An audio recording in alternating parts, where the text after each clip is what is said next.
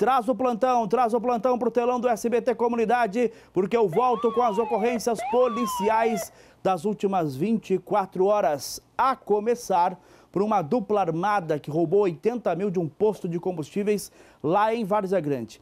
Na ação criminosa, um frentista foi baleado. Nós temos imagens do circuito de segurança que flagraram parte da ação e o Rafael Medeiros está ao vivo com o delegado responsável pelo caso e tem todos os detalhes. Rafa. Bom dia, Trindade, mais uma vez para você. Estamos aqui na Delegacia de Roubos e Furtos de Várzea Grande. A Polícia Civil segue investigando este caso. Tudo aconteceu ontem por volta do meio-dia. Segundo as informações da polícia, o empresário desse posto, o dono desse posto, ele foi ali com uma Mercedes, estacionou o veículo no pátio do posto e a intenção dele era buscar o dinheiro que teria sido fruto das vendas do final de semana, isso na segunda-feira. Ele colocou o dinheiro do cofre em uma mochila e quando ele tentava sair, ele foi abordado por dois bandidos. Nessa ação criminosa, nessa tentativa de roubo, um frentista tentou ajudar o patrão e ainda acabou sendo baleado. Ao meu lado está o doutor Alexandre Nazarete, ele que vai conduzir as investigações. Doutor, esse caso vai ser tratado como uma tentativa de latrocínio? Como que a polícia segue investigando esse caso e o que, que já se sabe até agora? Bom dia. Bom dia, Trindade. Bom dia, Rafael. Bom dia aos telespectadores.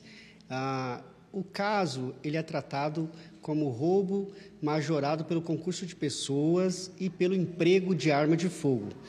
Ah, nós temos neste momento uma equipe de investigação nas ruas ah, desde ontem, a busca de mais elementos de informação para a identificação dos autores, que, ah, a nosso juízo, eh, tem pelo menos três pessoas envolvidas, e para a identificação da motocicleta que um deles utilizava na ocasião da empreitada criminosa. Doutor, queria que o senhor explicasse para a gente a dinâmica. O que, que, a polícia já se sabe em relação à dinâmica? Os criminosos, eles chegaram os dois em uma moto, teve um apoio desse terceiro. Queria que o senhor explicasse a dinâmica desse roubo.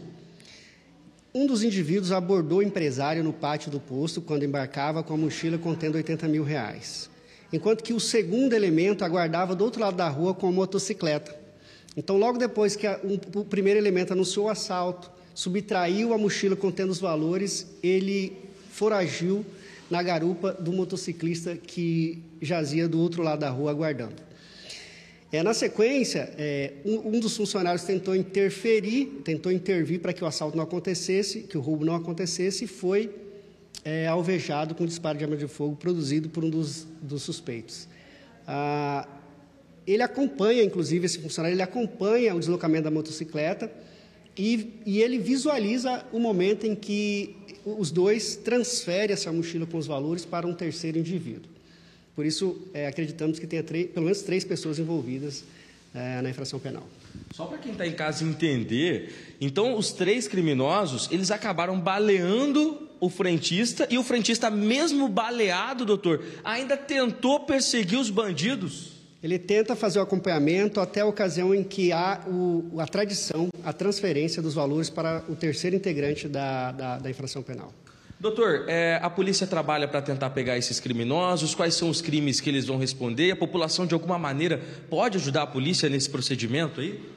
Desde ontem temos uma equipe da DERF Várzea Grande é, empenhada no sentido de identificar da identificação dos três, né, de pelo menos dos três autores que acreditamos que tenham participado da empreitada criminosa, é, da identificação da motocicleta utilizada por eles e de que forma a sociedade pode, pode nos ajudar.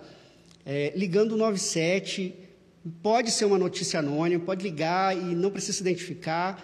E se de repente alguém da sociedade tenha visualizado a placa ou características da motocicleta, será de grande valia na, na apuração da, da prática criminosa.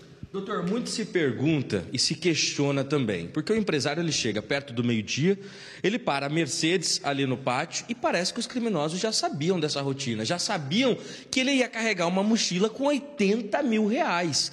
Então a polícia ela investiga também possivelmente envolvimento de funcionários desse posto, pode ter é, repassado informações para essa quadrilha.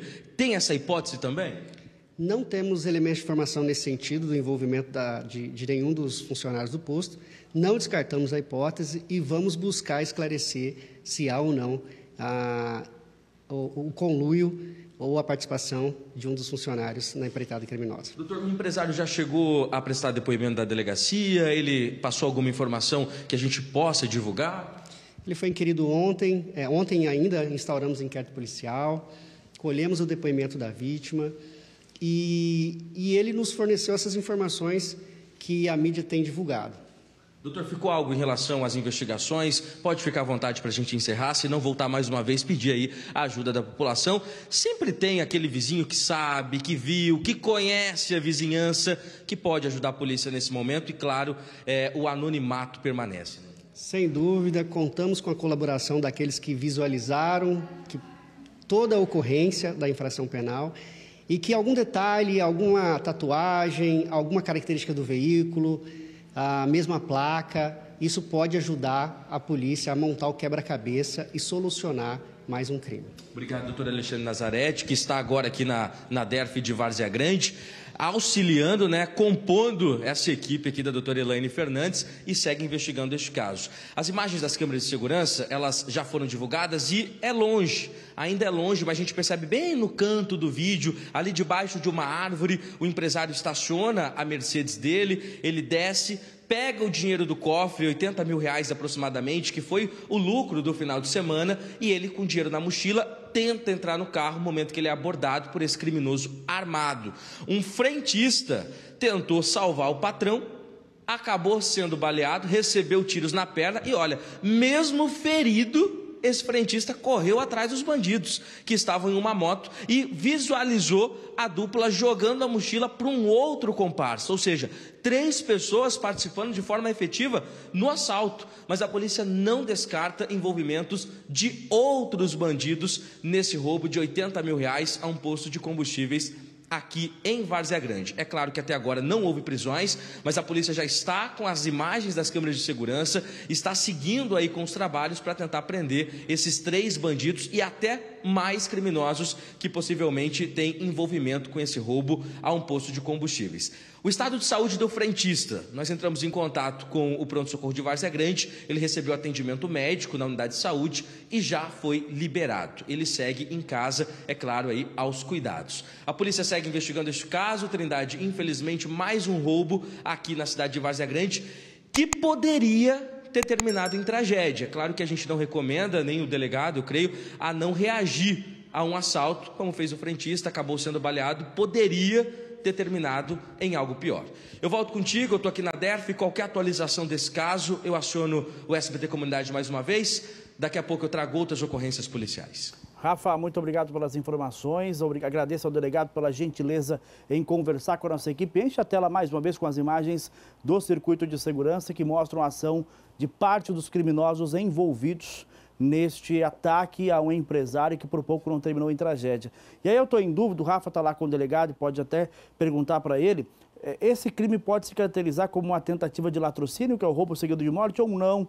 Porque o roubo já teria sido praticado quando os criminosos é, atiraram contra o frentista que perseguia os criminosos. A resposta a gente vai compartilhar com você amanhã em uma reportagem especial sobre esse caso aqui no SBT Comunidade. Música